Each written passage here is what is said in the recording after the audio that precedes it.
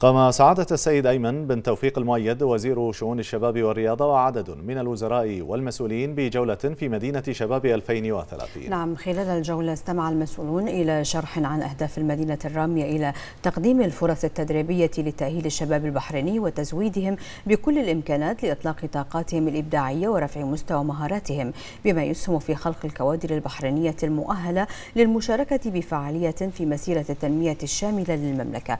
بهذه المناسبة بالمناسبة أعرب سعادة السيد أيمن بن توفيق المؤيد عن شكره وتقديره للمسؤولين على زيارة مدينة شباب 2030 والاطلاع على ما تقدمه من برامج وفعاليات تساهم في إكساب الشباب البحريني.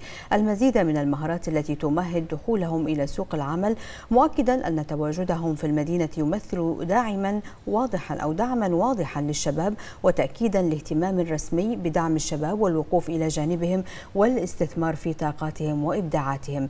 من جانبهم بهم أعرب الوزراء والمسؤولون عن تقديرهم للدور البارز الذي تقوم به وزارة شؤون الشباب والرياضة في دعم الشباب البحريني لاكتشاف وصقل وإبراز مواهبهم في مختلف المجالات ومشيرين أن مدينة شباب 2030 تعتبر من المبادرات الرائدة التي تساهم في تزويد الشباب بالمهارات اللازمة والتي تمهد إلى دخولهم إلى سوق العمل متسلحين بالعلم والتدريب والخبرة علاوة على مخرجاتها البارزة طوال السنوات الماضية.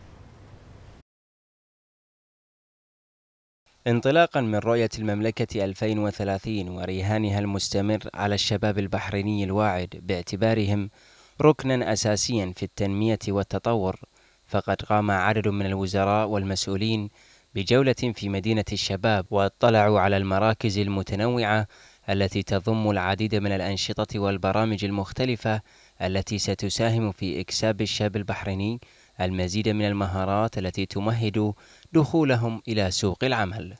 مدينة الشباب وفرت الفرص التدريبية المتميزة لجميع الشباب لتزويدهم بالإمكانات لدعم طاقاتهم الإبداعية ورفع مستوى مهاراتهم بما يسهم في خلق الكوادر البحرينية المؤهلة للمشاركة بفاعلية في مسيرة التنمية الشاملة لمملكة البحرين.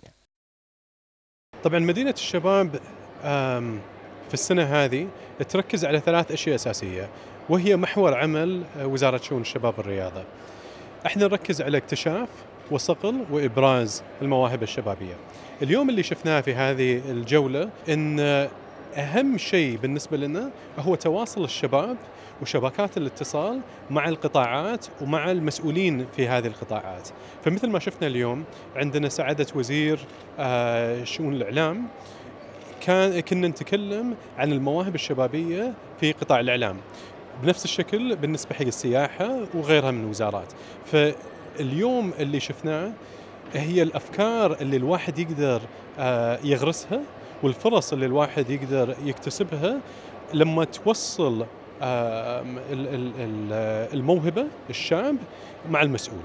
حقيقة يعني أنا طبعا عاشرت مدينة الشباب في 10 أو 11 سنة الماضية واللي دائما يفاجئني وأفتخر و يعني وأستانس ان أشوف روح الشباب اولا التطور في السنوات العشر الماضية وما شاء الله عليهم جودة البرامج و وتطور البرامج مع احتياجات السوق طبعا من ناحية التمكين إحنا نساعد نمول ونهيئ ونمكن آه، الشباب علشان يدخلون سوق العمل. فكل ما قدرنا نصقل المهارات نوضح لهم ما هي الخيارات وكل هالأمور فاحنا قمنا إن شاء الله آه، بالواجب.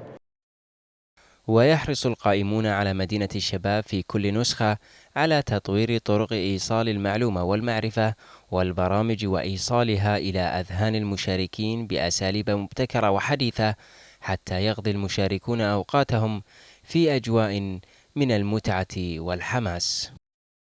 برنامج سنوي يلبي تطلعات ورؤى جلالة الملك المعظم وأرضية خصبة لتشجيع الشباب لصقل مهاراتهم عبر مجموعة متكاملة من البرامج المتميزة الموجهة لبناء وتنمية الطاقات والقدرات الشبابية. طلال نايف لمركز الأخبار تلفزيون البحرين.